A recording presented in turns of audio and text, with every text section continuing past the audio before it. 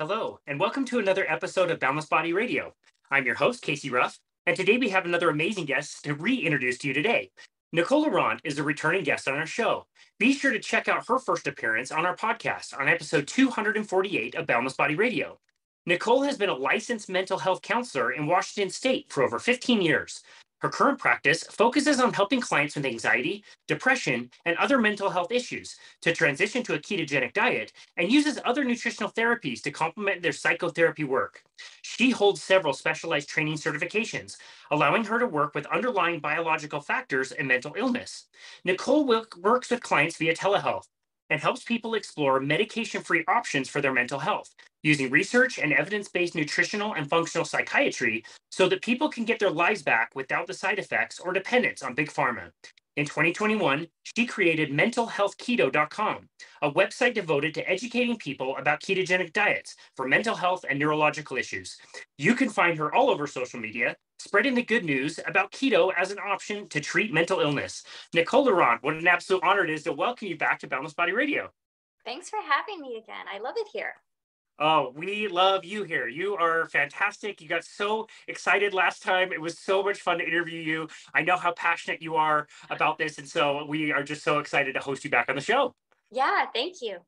Absolutely. Um, so I'm gonna I want to dive into your story a bit more than we did last time. I felt like um, you know, we kind of covered the things that you had gone through, but but but there's a lot more that I think you'd actually had to get through to get to where you are today, and I'd love to cover that. But before we do, I just want to comment on something that I find kind of it's kind of funny, but it's like the more you think about it, it's really not funny. And it's a normalization of certain things that we see around us. And we see it so frequently, we normalize it, but we don't realize it's not normal. And so we come up with these weird terms like hanger is now actually in a dictionary. That's a word now. It's something that somebody made up and now it's a word. Or things like dad bod. We just think like, oh, he's got kids, he's 35. Of course, he's got a belly, he's 50 pounds overweight. You know, my joints are creaky and I forget things. And one of the ones that I always think about is completely, completely just left my mind was brain fog. Brain fog is this term that we throw around. We just say it's kind of normalized. Uh, most people experience it. Maybe they experience it at work or forgetfulness, where like they forget their keys somewhere, or you know, all those all these things that again are not normal, but we normalize them. What do you what do you think of when you hear those terms? Yeah. So brain fog, brain fog is this kind of umbrella term that we use to describe our brain not working very well in a lot of different ways. Um, and no one wants to walk around saying my brain is unhealthy um, or my brain is has a neurodegenerative process going on that's slowly taking away my ability to function. I mean, you know, nobody nobody wants to talk about that.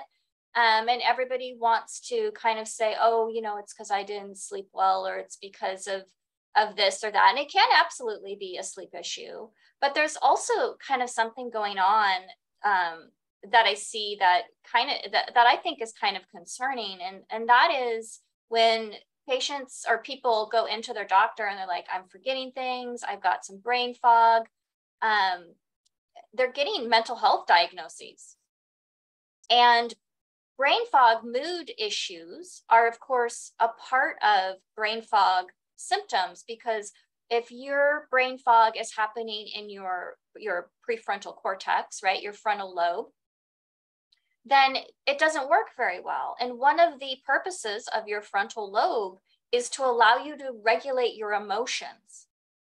So instead of the doctors looking at, oh, you've got brain fog. So it's not just that you're sad, it's that there's all these other cognitive symptoms going on. And sometimes the patient will say, no, it's not just sad. It's like this, this, this, and this, right? I can't, I'm, you know, some people will kind of have trouble finding their words. Like I can't retrieve my words, or I can't drive any place newish without, um, or without the, the Google lady telling me where to turn, right? Um, or you know i went to my friend's house twice but i couldn't find it again with, without the google lady right? Stuff like that like they'll they'll talk about that and they'll be concerned and they'll be like something's wrong with my brain right? And they're they're getting mental health diagnoses. And and it's fine to have a mental health diagnosis but when as a society, when everything you Google about that mental health diagnosis tells you that it is a chronic and unremitting lifelong illness that you're never going to get better from, or that there's no real therapies for other than medication, I have a huge problem with that. Because every day in my practice and in my brain fog recovery program, I see people who get their brain back. And, and as a result, their mood improves and their mental health improves hugely. Um, and it was very clearly a cognitive issue. Like when we look at their symptoms all together, it is more cognitive than mood for sure. Wow. Um, it's so, something yeah. I notice all the time with the people I work with. I don't even specialize in mental health, and I see it all the time. It's across the board. People report that they have n- not only more energy physically, but mentally. They don't mm-hmm. they don't get tired in a work day. They, they have, you know, they've got the, the mental acuity to have difficult conversations or really focus on their work. It's, it's across the board. I, I, I have a hard time finding people that don't say that that happens. Yeah, that that happens with, yeah, with, with wow. the ketogenic diet and improved micronutrient intake and, and all that good stuff. So, so yeah, it's, it's normalized. Um, and that worries me because brain fog recurrent and chronic brain fog does not get better on its own without some kind of change, you know? And yes, we're going to go through life and there'll be days maybe where we wake up with some brain fog and we're like, I don't know what's going on. And, you know, maybe we got exposed to a cootie and our, we've got some neuroinflammation going on, right, as a result. Or, you know, maybe we ate something that didn't agree with us and that that's causing a little bit. And, and I get that. I'm not pathologizing that at all. Like that's just and especially in this kind this world with a lot of different toxins and a lot of different kabillion things to be exposed to that our body probably doesn't want to deal with. But if it's recurrent and chronic and by recurrent i think like if half of your week you feel like a zombie that's recurrent.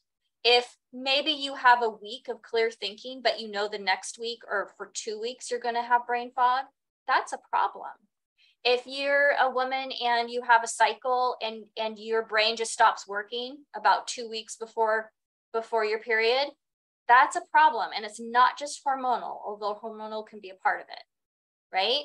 And and so that's the stuff i just don't want to see people living with acting like it's okay or that they have to lower the bar on their life because of that when it's so treatable um, and people can learn how to treat it.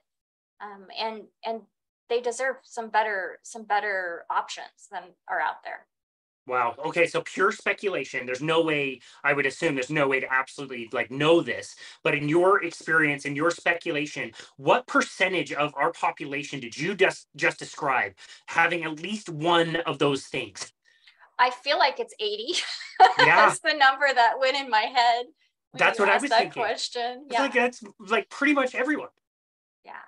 Yeah Wow, that's crazy. Okay, so we're going to park that for a minute. I, I, definitely want to take a deep dive into that today and some of the things that we can do about it. But like I said, I want to go back to your story. I find it really interesting. I don't know if ironic is the right word that you chose to get into mental health and you ended up dealing with some mental health issues yourself. So can you talk about what it was like to, um, you know, learn so many amazing things in the mental health space, but also have to deal with it yourself? Yeah, well, um, I I didn't identify as anxious at all, really. Um, I went into psychology because I was really interested in relationships. Um, and I had just had my second daughter, and I looked around, and all my books were about relationships and parenting and attachment and all that. So that's kind of what I went into psychology for. And then when I uh, was in my first semester of graduate school, I developed some kind of chronic pain thing going on in my face and my neck, and it caused daily migraines. It was actually trigeminal neuralgia, which um, is is pretty a pretty bad one, pretty painful. Um, daily to, migraines daily migraines. I would start up Brutal. okay in the morning, but then as the day progressed, I would get a debilitating migraine, and it was awful. And I would get shooting pain and you know nerve pain. The a, a breeze would hit my face. It was it was really difficult, and especially with young children. Um, wanting to, you know, wanting to go to the park. My husband really overcompensated for me during that time. I missed a lot of quality opportunities with my kiddos because wow. of that. Um, but so I did all the things the doctors told me, uh, got got told got told that really the only way to fix it or to get relief because there isn't a lot of treatments for trigeminal neuralgia and chronic daily migraine as people know um, was to get on pain medications did it didn't want to. And i was one of those special folks that just could not get off um, and on a physiological level like it wasn't i wasn't psychologically ready to get the heck off of those because they just completely they just completely wreck your quality of life um, long term at least. In the moment they're very helpful but they they stop working very well. You constantly have to go up on dosage. They're huge hormone disruptors in the body. They are huge micronutrient depleters um, and so finally i got off of them and uh, but it was after like 14 years i was going through this for like 14 years um, Crazy. and and I they had me on a bridge medication that I could not get off of that I was told is much is more difficult to get people physiologically off of than heroin, much worse. Um, finally found a guy who was doing an experimental protocol that I paid out of pocket for, um, and and I made it through it. It was awful that protocol. Um, felt terrible. Was sure I was dying as I was going through it. Like every cell in my body was like, "This is it." but I got through it. But my brain was wrecked, absolutely wrecked afterwards. Um, I could not find words. Whatever thought I had came out of my mouth immediately. I had no frontal lobe control, oh, um, oh, no. which I guess was kind of fun, you know, on, on some level. I guess I'm going to look back on it. Um, I, I, I was I couldn't remember some faces that I had already met. I started to lose the ability for faces. Um, I would need to run, you know, copay credit card numbers, and I couldn't hold more than one or two numbers at a time in wow. my head long enough to punch it into the credit card machine. It was bad. It was it was at least a stage one Alzheimer's type of impairment that was going on, and that is from being on those types of drugs. And plus you know the gabapentin and all the other stuff that they add to those cocktails for chronic pain. So you know being on that for 14 years and then going through this really awful protocol that just is scrubbing your opioid receptors. That's what the doctor said. I don't even know if that's a thing but you know I, I just i couldn't even walk for a month after that detox i had i had to have help going to the bathroom my oldest daughter had to make my food for me when my husband was gone I was in bad shape. I thought I was going to have to like close my practice, you know? But I slowly got a little bit better, but my brain did not come back all the way the way I wanted it to. Um, I, I had stopped reading because I couldn't read. I couldn't, it was very cognitively taxing. I would get that thing uh, that we talked about just before we started recording, where um, you do a cognitive task and if if it makes you more tired, if it makes your brain fog worse after doing the task, then that is a sign of how bad your neurodegeneration is because it's just like when you you know let's say you've been sedentary for a long time and you don't have a lot of muscle strength and you're like i'm going to go to the gym and i'm going to work out really hard and you work out really hard and then you're kind of in bad shape for 4 days you're in terrible pain you're fatigued you're you didn't get the energy from it you expected it's too much for your body that's what that's what really really bad brain fog is. They you know they can't just push through a passage on a in a book or whatever. So i uh, i came across i could still listen and i still a curious human even though i couldn't retain anything very well and i was listening to podcasts and uh, one about the ketogenic diet popped up and they were talking about how it was beginning to be used with alzheimer's and dementias and people were talking about how it was used for performance and mental clarity and all that. I was like, oh, that sounds like what I need. I need some of that.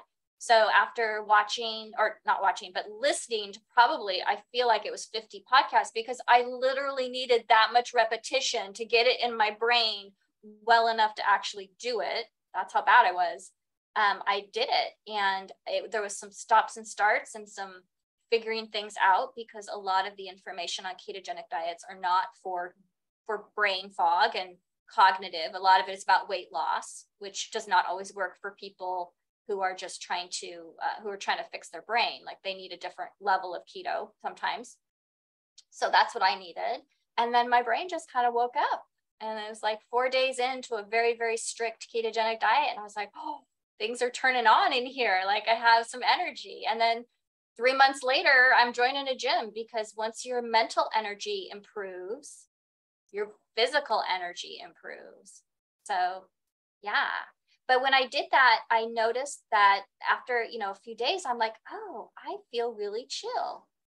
I guess I was kind of anxious before and I didn't even realize it. Yeah. Wow, that is such an interesting story. Thank you so much for sharing that. I'm curious. I know it's probably been a, a, minute at this point. Do you remember who you were listening to that first podcast? Do you know whose work you came across? I think it was Dom. Hmm. Dom D'Agostino. Yeah. I remember cool. some stuff from him. Um, Will Cole was on. He's a he's a functional medicine person. He was talking on a particular podcast. I don't remember what it was now, but he was talking a lot about ketogenic diets. Yeah. Um, and you know, eventually I moved on to Georgia, uh, finding her stuff and and all that. So yeah, it was just kind of a process of well, you know how it is. Once you start one, you're like, I want to know more information, and you're oh, yeah. grabbing all the podcasts. Yeah. This is yeah, my whole life for seven, eight years. Like every the things I do for fun, the things I listen to, like in my car, the books I read, like every my entire life is around this area. It, it mm-hmm. really does grab you. It's kind of interesting. And I always love asking people, you know, who were the the first people? I think of it as like, who's your like Mount Rushmore, the three or four people, you know, heads yeah. you have carved into the mountain. So yeah. interesting. So we've learned a lot about ketogenic health with some of the really major nasty mental diseases. Maybe we can just spend a minute talking about you know those. So we talked dementia alzheimer's schizophrenia all these things that have diagnoses that are very severe. People again like you said before you you, you have this you're you're probably going to die from this. There's no way to reverse it. As far as the big major ones that people you know are are more scared of i guess what are some of the things we've learned about ketogenic diets improving those yeah, so there's all kinds of great research going on. Um, amazing research. Uh, and, and there's stuff going on for bipolar disorder, schizophrenia. I mean, I work with bipolar in my private practice, uh, mostly individually right now. And so I just see people improve all the time with that. So with bipolar disorder, they tend to have ways to alleviate the manic symptoms but but the ways that they help the depressive symptoms and and bipolar depression is i i am not bipolar and i i've never experienced one of their depressions but i i think it is from what i hear and what is described to me i think it is one of the worst things ever. And so these these these bipolar patients are you know their their mania is better um, and pretty well pretty well controlled but but they're always this scary sensation that they're about to fall in that pit. And it is really hard to get out and the medications that they have for that just do not suffice and are not doing the trick. Yeah. And what i am seeing and what i am hearing with other metabolic psychiatry pr- practitioners is that this is that missing piece for for for them that it really for most of them um and i'm sure you know like chris palmer probably works with a lot more you know people with very severe bipolar. I'm a private practice person a small practice you know i get a lot of people in but you know i don't get the worst of the worst for sure. I'm not at harvard you know people go to the big medical centers. So i'm sure there's people where it has not worked for them but for everyone i've worked with thus far um, it's just life changing yeah, no, that's so interesting. I I worked with somebody who had bipolar. and I can't remember. I know there's different like classifications. I can't remember exactly which one. But and, and unfortunately, you know, she was getting her nutrition information from a registered dietitian. So there wasn't much I could do besides kind of sneak a few ketogenic things in there. But by and mm-hmm. large, the dietitian was not interested in learning about any of that. Wasn't having any of that. And I, I do recall I, I, recall like you spend most of your good days just dreading the bad days. Like like yeah. it's not like I'm enjoying feeling good. It's like this is my relief, and I'm almost like storing up my energy for the next bad thing. And and it it seemed very severe. Yeah, yeah. It's not it's not a great quality of life. Um, and and we can do better, and we have to just make this accessible. Yeah. Has there been, uh, since we talked last, has there been any kind of major improvements with the medications that we give these people? Not that I am aware of. I am not a prescriber, so I don't keep up with all the medications. Um, other than I work with people who go on ketogenic diets that end up often having to be deprescribed and titrated down off their medications. That's really the most I know about those medications. Um, but they are and they are mostly anti-seizure uh, medications for some of them. It's about trying to stabilize that mood. And I, I think ketogenic diets being a metabolic psychiatry intervention is actually much better at that and provides much more systemic benefit in a lot of different areas areas like a pleiotropic type of intervention than the medications yeah, totally. I totally agree from what I've seen out there. And even just recently, I don't know if you can comment on this, but uh, with Alzheimer's research focusing on amyloid plaques in the brain, it turns out that was all like a scam, basically. Mm-hmm. Well, in anybody who, uh, like, I've, I've kind of known that was a scam for a long time. Anybody who has been paying attention in any way, shape, or form uh, knew that that just wasn't holding water, that those uh, those drug trials were not doing well, that they would have to take people out of the drug trials because people would uh, start to get worse.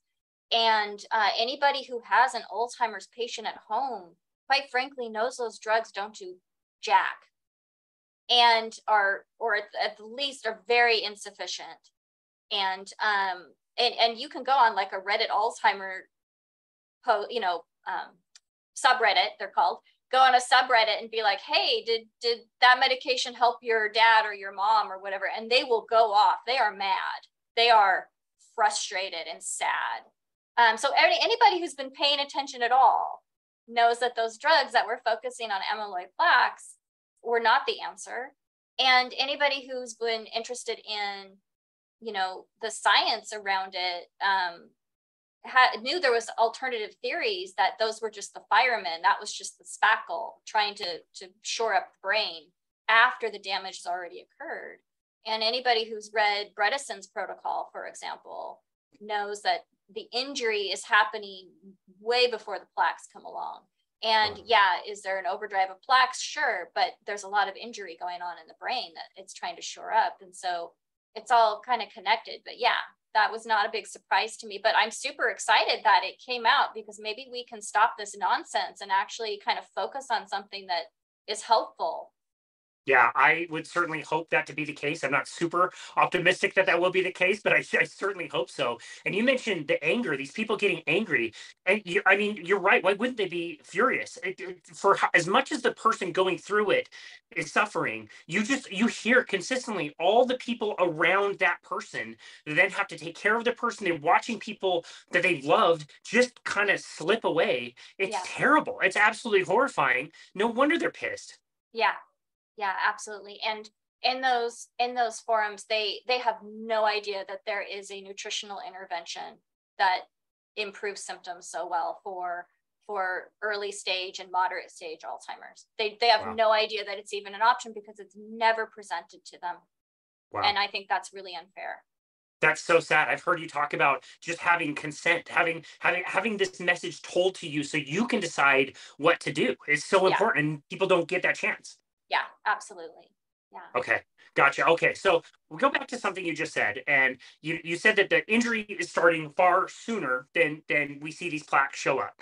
And so now I want to talk about not so much those big scary ones that we hear about all the time, but now kind of more of the run of the mill stuff. So, you know, the brain fog that we mentioned, mm-hmm. um, you know, the, the depression, the anxiety, yeah. Uh, which I would assume is far, far undiagnosed for many, many people, even though it's, you know, like the biggest cause of us missing work these days. Yeah. And I would even go down to like the stories I hear from my clients about what is going on in middle schools and, and like how that health is deteriorating is absolutely crazy and astounding to me. One of my clients is sending their girl to a different public school because the one they were going to go to, she said the suicide rate is off the charts in in high school and middle school like it's it's really sad.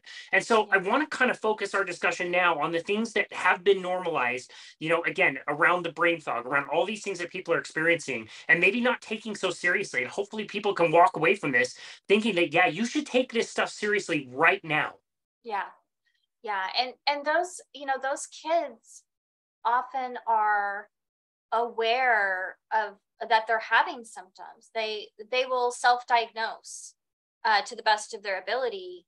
They will say, "I'm depressed." They will say, "I have an anxiety disorder." They will uh, say, "I have ADHD. I can't focus," um, and they will they will zero in on this idea that they have something going on that can't be cured because that's what's all over Google, right? Um, or that they have to take medication or that something's you know something's really wrong with them in such a way that it can't be fixed. They're defective in some way. Um, and there's a complete lack of looking at like i work with i work with some older teenagers and some some young adults you know in their 20s you know 18 to probably 24 and i will i will get them on my zoom because i do telehealth and we will zoom and I will slowly ask them about their diet and their nutrition. And when they tell me about their diet and their nutrition, I am always slightly horrified because they're not getting enough protein.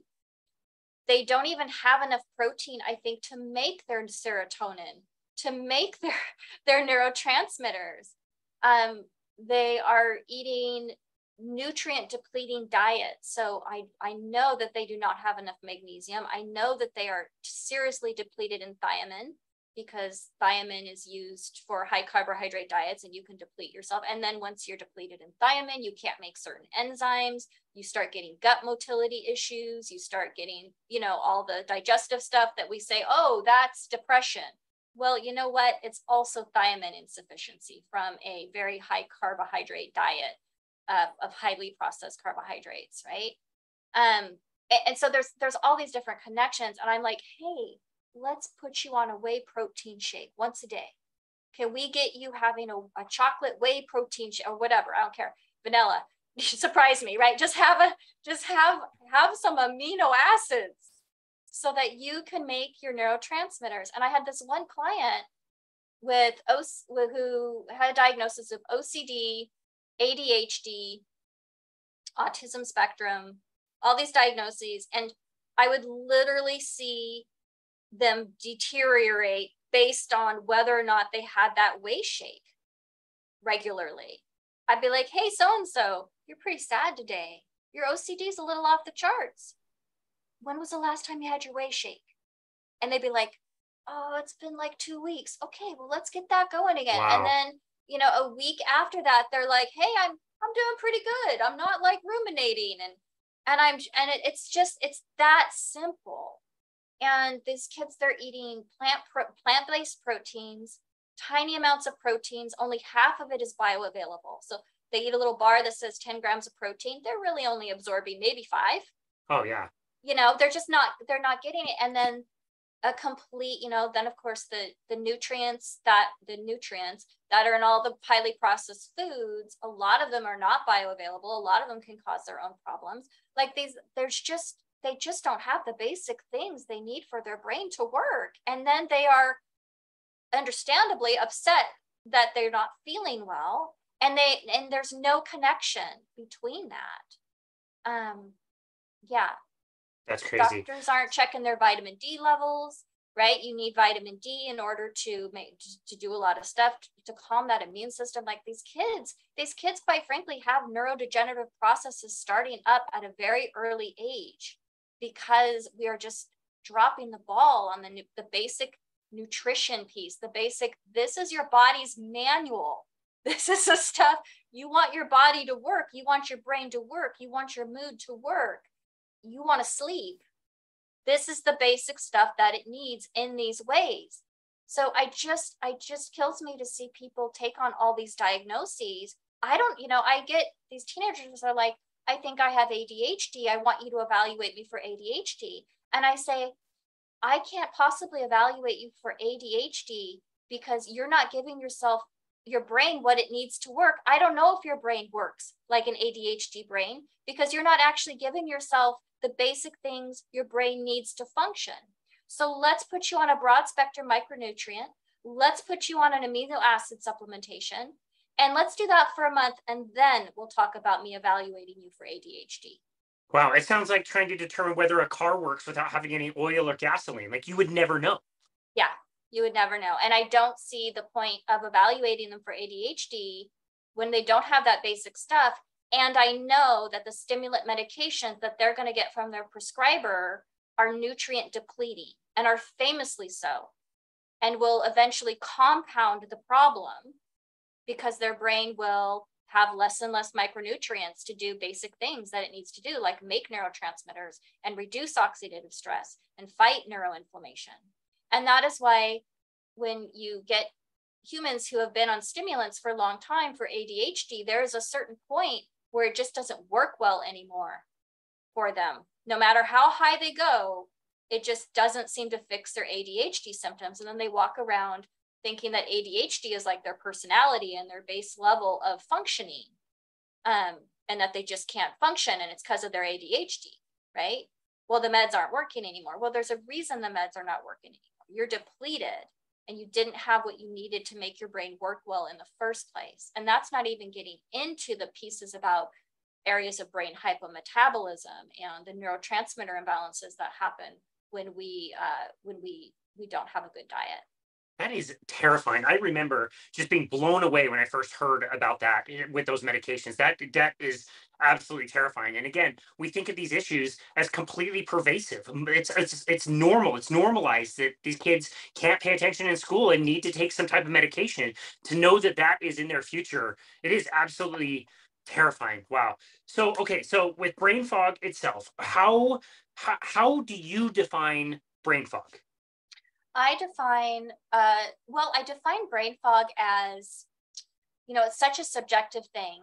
Uh, it, it, it, it's where you just, you feel fuzzy, your brain feels fuzzy, you can't concentrate very well necessarily.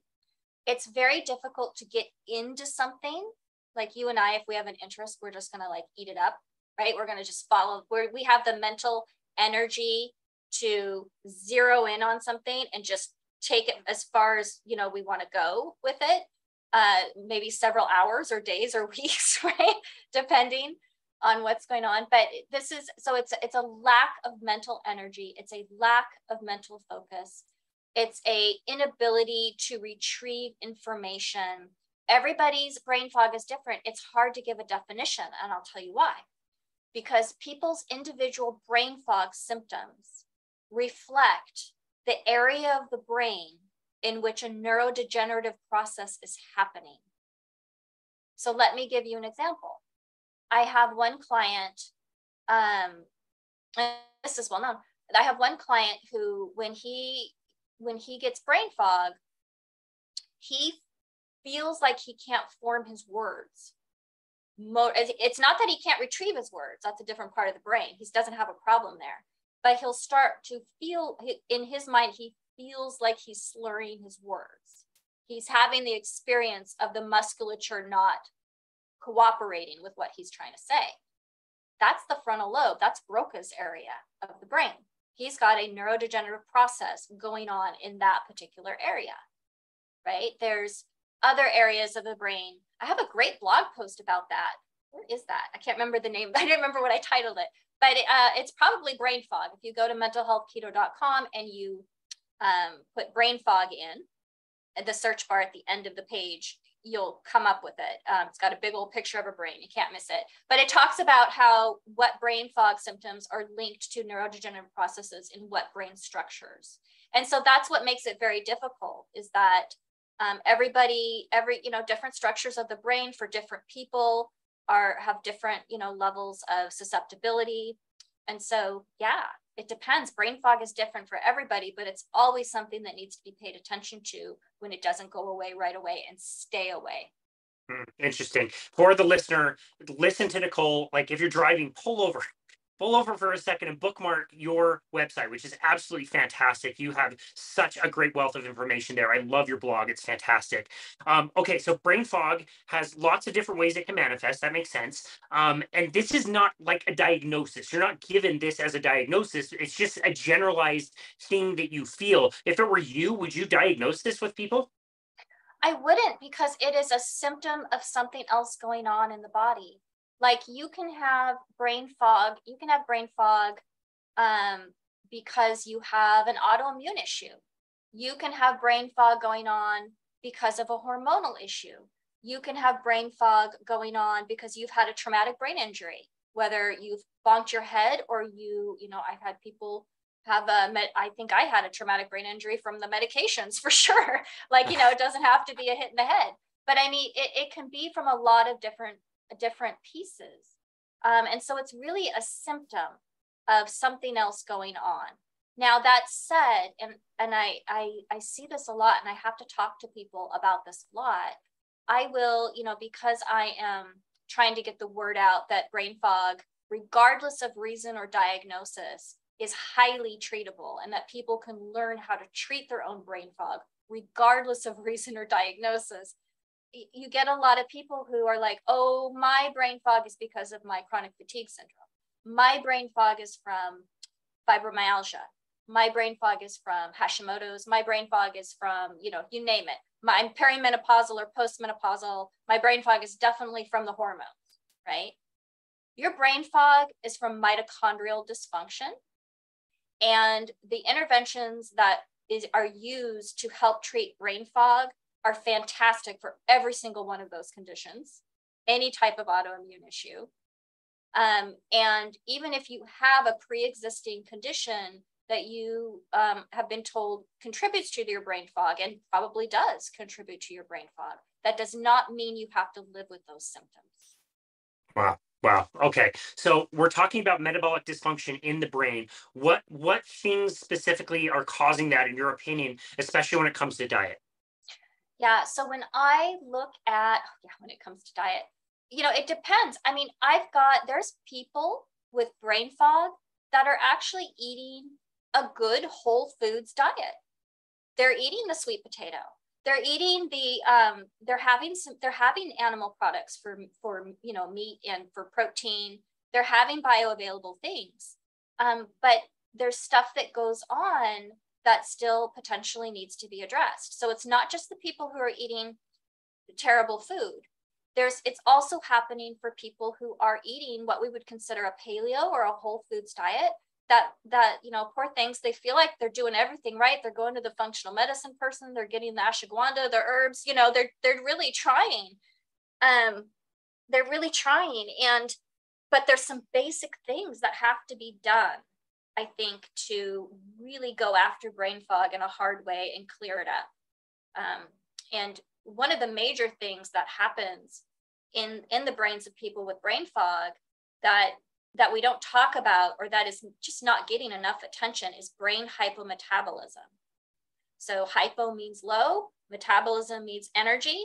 Low energy, there's parts of their brain, probably the structures that they have neurodegenerative processes in, right, that correlate to what their brain fog symptoms are, that are not using glucose for energy well because the machinery uh, the machinery gets broken over time with a high, really high carbohydrate diet. And there can be other things going on that might be making a brain structure hypometabolic.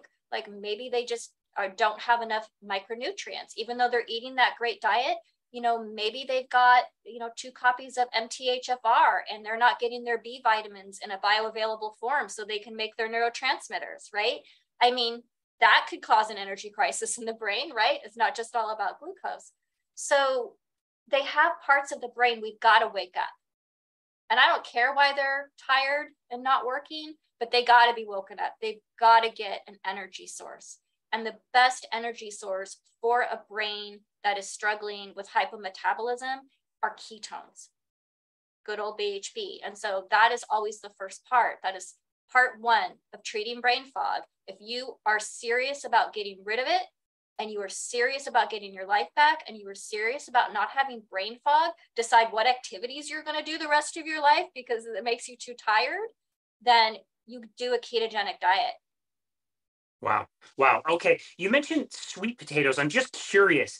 Do, uh, do, you do you suspect that oxalate might be part of people eating the quote unquote healthy diet but suffering from symptoms of brain fog? You know, I don't know. I haven't um, you know, I do have people that we've done a ketogenic diet and you know, we don't do a lot of sweet potatoes in a ketogenic diet or at all but they, you know, they'll eat a lot of cocoa or whatever, you know, they'll eat all the other, there's plenty of high oxalate foods in a ketogenic diet for sure. Um, and they don't get quite the results they want and they will go carnivore for a while and then they will get their results. I have mm. one guy that I work with um, and he he did ketogenic diet and he was doing it well and he's like I I my intuition is telling me to go carnivore and he did and he's been carnivore since and he's doing beautifully. Wow, um, interesting. And so I'm not against going off the oxalates. I don't know how much I wish there was a good, you know, a good way to tell. It's such a oxalates are mysterious. Like They're we could do mysterious. a whole episode on those. Yeah. Sally. Yeah. I got we got you got you had Sally. So did yeah, you have Sally on here? Too. Yeah, yeah, yeah, twice. Yeah, and every yeah. time we learn something new, and it, it's it's and Monique Ashinger, we just hosted as well, and you, you're learning about this, and you're just like, okay, this is this is either very mysterious or this is a monster problem. Mm-hmm. Mon- it's, so it's, it's hard to tell. Probably a monster. Well, that's saying something though. If if the oxalates are a huge issue and they go in your brain and they're causing all these problems, the fact that you can go on a ketogenic diet and in probably 90% of the cases get a huge improvement, that's yeah. beautiful. Yeah. Yeah. Yeah, that's awesome. Okay, so back to um, ketones. For somebody who is maybe not as familiar, what is so magical about a ketone? Oh my gosh, ketones are magical. they are. I don't mean to sound like a weirdo, but it's true. So ketones. So there's there's different kinds of ketones. There's three, and um, you know, they do different things for sure. One of them is BHB. BHB stands for beta hydroxybutyrate. And beta hydroxybutyrate is a signaling molecule. Like it will literally turn genes off and on, and it in a good way, apparently, in a really beneficial way. So it it really just absolutely uh, improves inflammation and body inflammation and when you reduce body inflammation, you automatically reduce neuroinflammation, right? You can't have arthritis in your knee and not have neuroinflammation. People don't understand that because when the immune system gets fired up, you know, and there's there's irritation in the body, that fires up what's going on in the brain as well. They talk to each other, um, and so so so they they completely plummet inflammation, which is fantastic for plummeting neuroinflammation. Um, they upregulate your natural endogenous antioxidant system of glutathione. Uh, ketones will help your body make more glutathione to clean up the hot mess that's going on of oxidative stress in your brain and help your brain actually heal um, and stop neurodegenerative processes. It has a fantastic effect on the immune system my gosh, ketogenic diets, um, we're talking about ketones, but ketogenic diets improve the gut microbiome in a favorable way uh, in just a few days, but really, really hardcore after about 14 days. Um, those tight junctions in your body that need to be tight, love ketones and use them for a fuel for repair. So if you've got leaky gut, you've got leaky, leaky brain barrier they correlate uh, like 90%.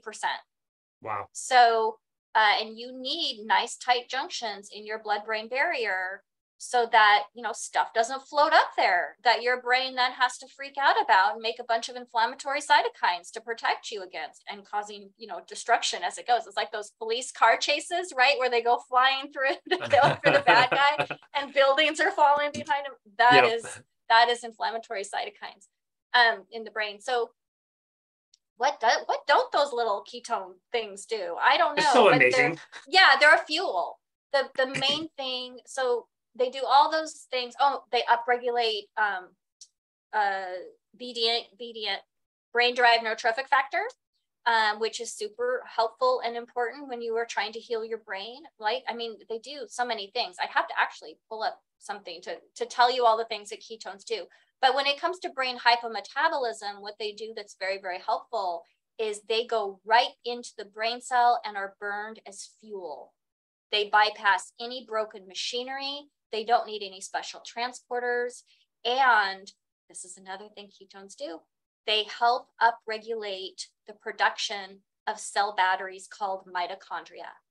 So when you do ketogenic, Uh, you know, I always say step one is change your brain fuel. Well, I'm really minimizing the effects of what a ketogenic diet is when I say that, because I'm just I mean, I think that's a big important part. If I can't get those ketones in there, they're not going to do all the other cool stuff that they need to do, but they are fantastic brain fuel and they will help you make more cell batteries for more energy and make the cell batteries that you have work more efficiently. And so I just can't heal your brain for you until you do a ketogenic diet because it takes so much energy in the brain for the brain to function well. And until you fix that broken machinery somehow over time, I just want to I just want to get your brain fuel up so you wow. can feel better. That's amazing. Yeah, I love talking about the benefits of ketones themselves. There's so many wonderful things we're learning all the time that mm-hmm. they're doing. And to think too, this is our natural state. This isn't a fad diet that you read about in the grocery store magazine. This is our natural normal state that we should always be in, that we have always been in throughout our evolution.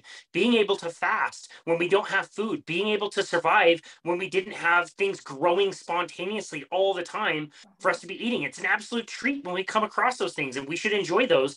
But in, in, in that world, we had to be able to be in that state and to go very long times without food. And here we are. Like that's what we do. That's what we're great at as humans. Yeah. Yeah. Wow. That's crazy. Okay, so step one was increasing the ketones. And, and you and I talked about last time, we talked about Dr. Mary Newport, who was able to help her husband before he passed away with his Alzheimer's. And I recall, I don't even think they used a ketogenic diet, and, and especially, I guess, in the 30 days that they did those clock tests. They just started throwing, um, they started coconut throwing, oil. I believe it was coconut oil in his yeah. oatmeal. Yeah. And didn't make any other changes. And so when we're starting at step one, or is that the thing we just want to get the ketones up as high as possible? And if so, what are some ways that we can do that?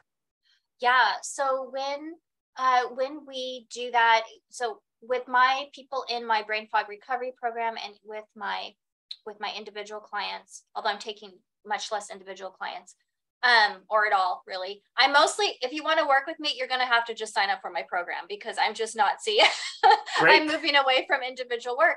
And part of that is because one, when you do this, you say a lot of the same things over and over, you know that with your clients.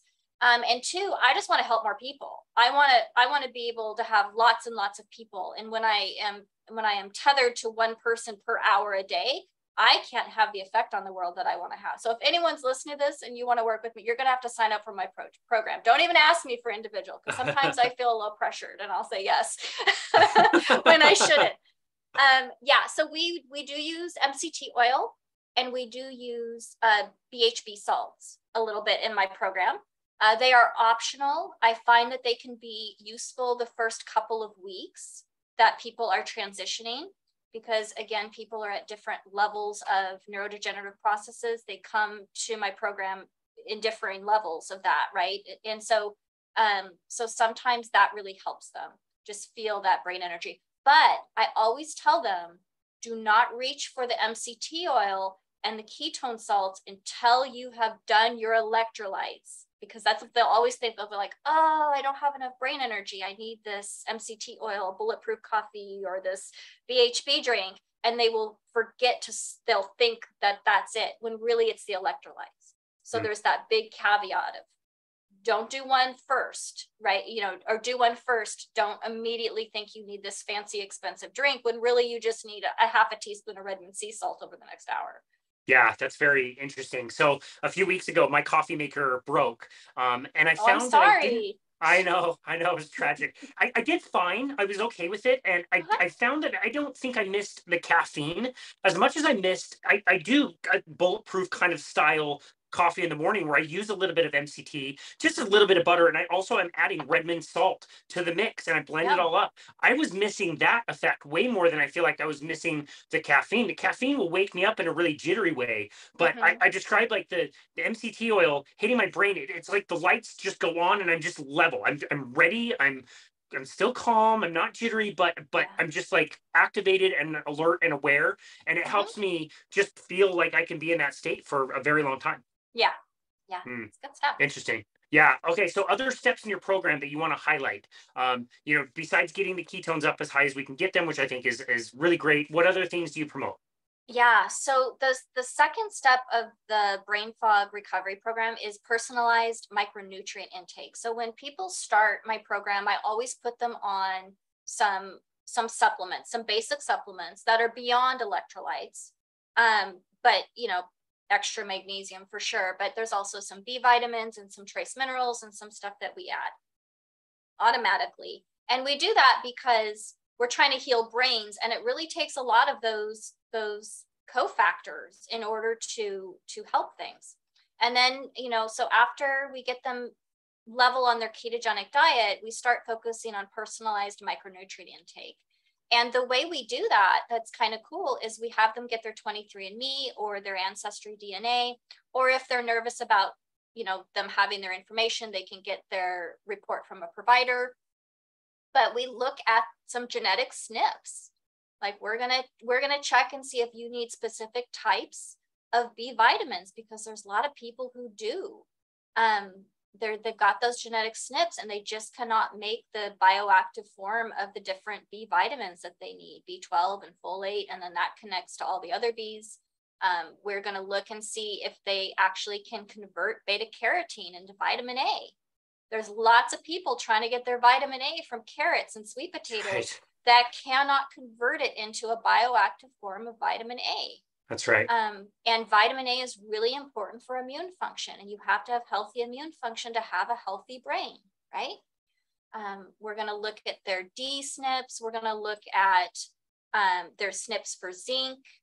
Um, their SNPs for, oh my gosh, choline is a huge one. Like, I cannot tell you uh, how many people's brain finally lights up the rest of the way with some some choline supplements. So there's a lot of people who have SNPs that make it so that they can't produce enough choline that they need. They would have to eat eight eggs a day. And I don't care how many eggs, how much you like eggs, you're going to get tired of eating eight eggs a day. I'm not even sure you should. I don't know. I don't know, I don't know what happens. But ironically, most, ironically, that's exactly the number of eggs I ate like a few hours ago. Perfect. Yeah. No, I've done it myself too, but I just wouldn't want to do it every day necessarily. Right. You know, variety. So, uh, so, so their brain is not getting what it needs in order to uh, make healthy membranes, make healthy connections, all that kind of stuff. There's people who are relying on uh, vegetarian sources uh, in order to get their omegas that cannot convert them right? They, they they cannot convert that ala to to what they need to convert it for a healthy brain function. So we have to look at these SNPs with people. Um, when i healed my brain i got really really far on a ketogenic diet really really far in in cool ways and then there was just i you know you know how it is once your brain is better you want to learn things too. So i just kept looking and kept looking and kept looking. And i am one of those people who need choline and i need a specific form of it. And once i added that holy crap my brain was on all the way. So wow. if you have residual symptoms of brain fog like here's the thing there's people who join my program that are like i've done a ketogenic diet and it didn't help and we talk about it and it turns out they did a ketogenic diet that was designed for weight loss that really focused on kind of net carbs and and and it, they didn't get their carbohydrates down in a way that their body understood right? Because your gut microbiome can take some fiber here and there and do things with it right? So they just didn't have a stable level of ketones so we do a we do a ketogenic diet for mental illness and neurological disorders. And that is 20, 20, maybe 30 total grams of carbs. Like we don't mess around because we really want that person to become fat adapted quickly and be able to burn their own body fat for ketones. And then we want to add some ketones because we want to give that brain all the fuel it needs that it wants in order to heal. And then you add this piece, and really beautiful things happen um, because a lot of people are going into their ketogenic diets already hugely nutrient de- depleted from their past diets. So they're like, I did a ketogenic diet, it didn't help. Well, you were already thiamine depleted, you were already magnesium depleted. The magnesium levels that you were taking when you started your ketogenic diet is still we're not sufficient. You know, popping a we're not talking about popping a 400 milligram uh, or 200 milligrams a day, right? We're talking about 400 to 800, right? To to fix a fix a depletion. Um, you know, it, they're coming into the diet already depleted. So this second stage is really important because we are literally giving the body everything it needs to heal that brain. And remember, we talked about how ketones upregulate glutathione well, glutathione needs particular micronutrients and lots of amino acids, some in particular that are rate limiting. If you don't have enough of this particular amino acid, you're not, right? So, so you know, if if we we add those so that their body can make as much glutathione as it wants in order to heal and fix things. So we do nutrigenomics in the second piece, and we make sure we add all of those rate micronutrients that the body uses to upregulate and make tons of glutathione. And that really helps brain fog. Wow, so critical. That's amazing. Any other steps in the process? Yes, the very last step is functional nutrition coaching or functional medicine coaching, basically. Um, and that's where, you know, if I've got someone who's been doing all the things, step one and step two, for a good three to six months, and they have not exponentially gotten better, then we've got to do some sleuthing. We've got to figure out if they have some heavy metal burden going on that's getting in the way of their brain function. We have to figure out if they've got some untreated Lyme disease or an untreated infection or parasite going on. We've got to figure out if they have been exposed to mycotoxins. We've just got to figure out what the last piece is. Um, because quite frankly, the ketogenic diet cleans up things, so many things, so many issues ahead of time that it makes functional medicine so much easier to do. I mean, think about it. I mean, quite frankly, I don't want to do functional health coaching with someone who is not on a ketogenic diet because you going at it's like playing whack-a-mole, right? I'm not sure functional medicine is legit if it hasn't addressed the huge physiological stressor of high blood sugars in, in people. Like if someone is not insulin sensitive enough to handle a sweet potato, why are we telling them to eat sweet potatoes? Why not like we're not paying attention to that as a huge stressor. Yeah. And there's so many chronic illnesses that are connected to insulin resistance that it just seems stupid not to clean that up first before you go after any underlying causes or primary yeah causes. start with the very biggest thing. Mitochondrial disease like when you look at one of those those memes that talk about functional medicine and it's a tree and there's up there in the branches right? At the roots they're supposed to be addressing mitochondrial function. And there is no other intervention that affects mitochondrial function the way ketogenic diets do I suppose you could give someone a kabillion supplements, which a lot of functional medicine practitioners do, trying to access those same pathways that upregulate mitochondrial function. But why not just go, why not just go for it? Right? Why not just go, why not just do the intervention that we know upregulates mitochondrial function? Let's let that clean up what it can clean up. Let's see what that does. Let's give the body all the micronutrients it could possibly want need let's let the wisdom of the body do its thing, which is what functional medicine is supposed to help with, and then try to go after some leftover things that are getting in the way, like a parasite, you know, causing yeah. a bunch of inflammation in the body, which is causing a bunch of inflammation in the brain, or yeah. hormone imbalance. Let's let the ketogenic diet, along with those micronutrients, along with that improved sensitivity to thyroid and sex hormones that happens on a ketogenic diet, let's have that do its thing in perimenopause, right? Before we start whipping out the, the bioidentical hormones for these people, because that's not necessarily a root cause intervention. Yeah. Yeah, no, I love that. I love that you gave that analogy. That was exactly what I was thinking in my head about, you know, three inches away from my head right now is Ben Bikman's book, Why We Get Sick. And he, he talks about the same thing. If you have a problem with the branches, don't mess with the branches, cut the damn tree down, like start there. Mm-hmm. Yeah, yeah, absolutely.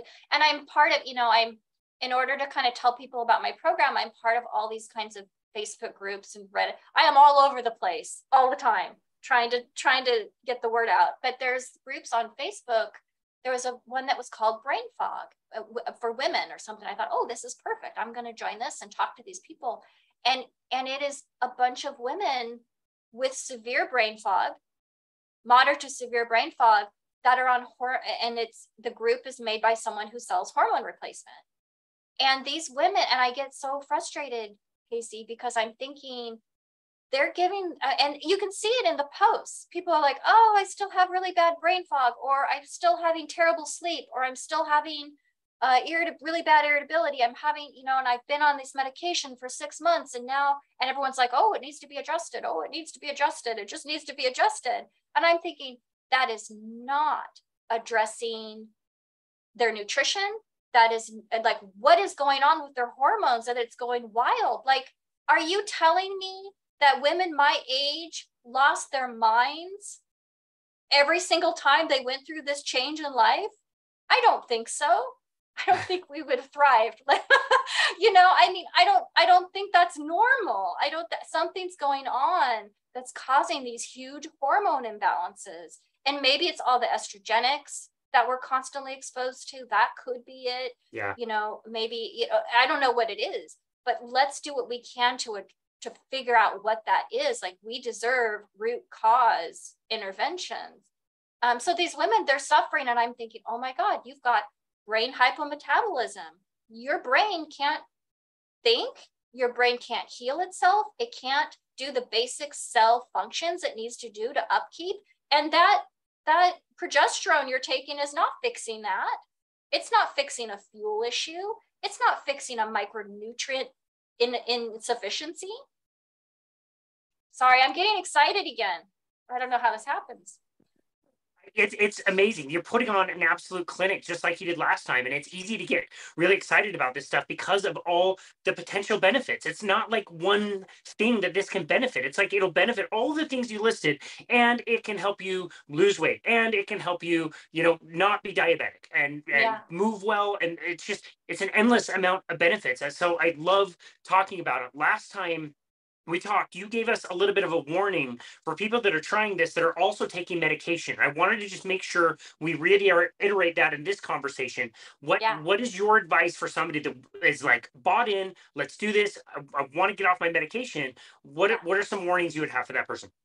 Yeah. So if you are on any kind of diabetes medication or blood pressure medication, um, anything that has anything to do with your blood sugar whatsoever, and there's a few others. Uh, beta blockers, uh, things, you know, things that things that they will often put you on for cardio. Again, cardio issues. Again, I'm not I'm not a prescriber.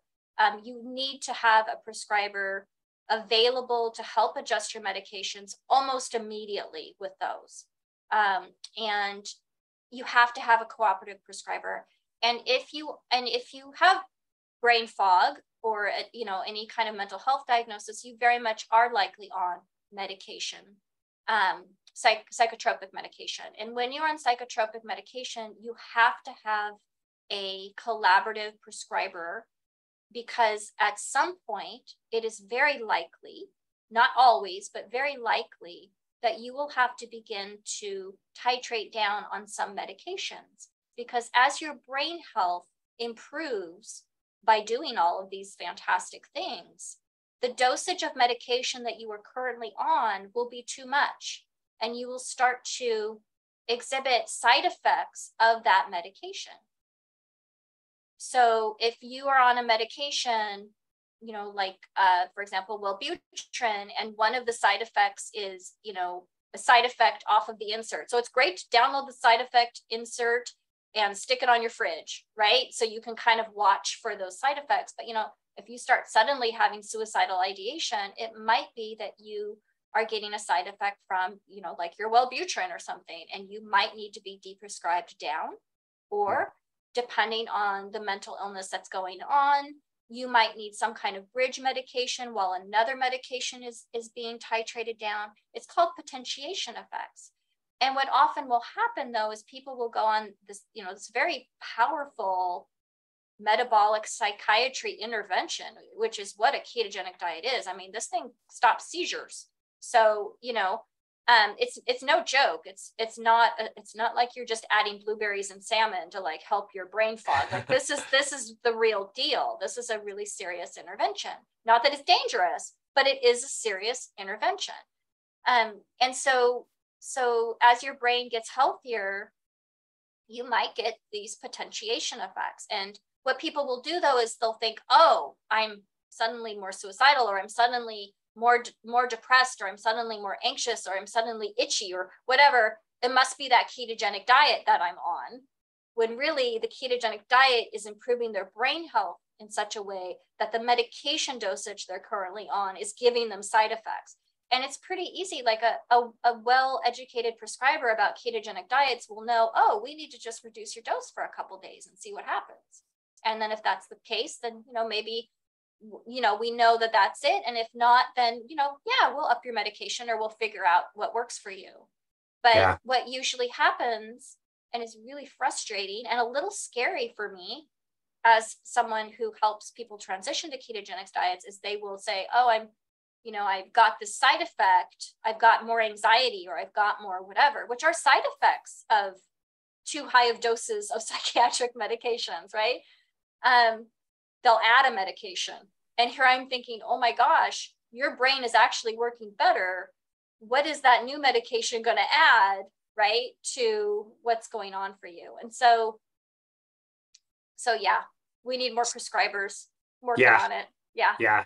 No, that's that's great. I love just the idea of having a warning that we're going to have to get you off of your medication. Like that to me is like least exciting, and it must be exciting for all the people you work with that have been on these terrible medications for so long. Just the thought of like, wow, I, I might be able to get off of these is fantastic. Um, yeah. Before we let you go, I do want to ask you about something you brought up briefly earlier in this conversation. Your most recent blog post about leaky brain. I've heard of leaky gut. I, it was really fun to learn about leaky brain. Can you tell us a little bit about that? Yeah. So just like your, you know, just like your gut has to have these tight junctions to keep things where they belong and not cause an immune response. Um, so does your brain and your your it's called the blood brain barrier, BBB for short. And um, it is really important that it is nice and healthy and it needs tight junctions and a lot of people, um, if you don't have tight junctions, things get up in there and they float around in your brain. And then I'm, I'm explaining this super simple, but you know, your immune system reacts to that because it knows it doesn't belong there and it's not supposed to be there. Um, and it can cause damage. It lets damaging things get up into your brain. Um, and as you can imagine, that can cause a lot of inflammation and oxidative stress. And so part of being having a healthy brain is being able to keep things out. And so um, what a lot of people don't know is they'll talk a lot about their leaky gut, the leaky gut. I have depression because I have leaky gut. Well, if you have leaky gut and your functional medicine person has, you know, biomarkers to confirm that you have leaky gut, then you have leaky brain.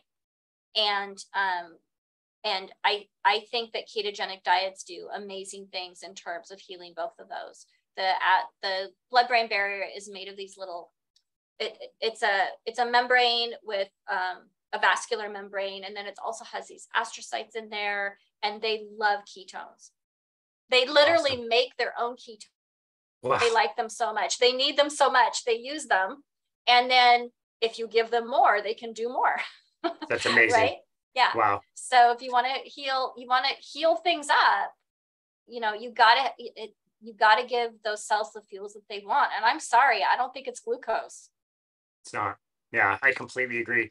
This has been another amazing conversation. I always learn something when I get to talk with you. Um, you're so generous with your time and always learning new things and teaching it um, on your website, on your blog, and with your courses. Where do you want people to go to find you, to connect with you and your work?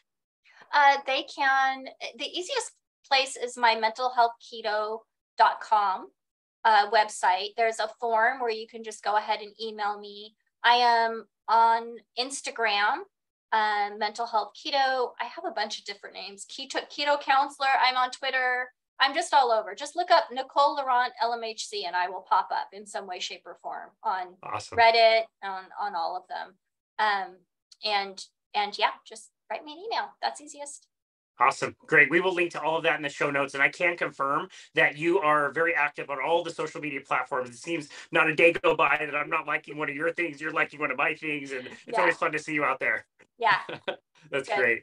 Awesome. Nicole Laurent, thank you so very much for everything that you're doing in this space. Thank you for bringing all your passion and excitement to the conversation. And thank you for bringing that passion and excitement to our conversation today. We really appreciate you.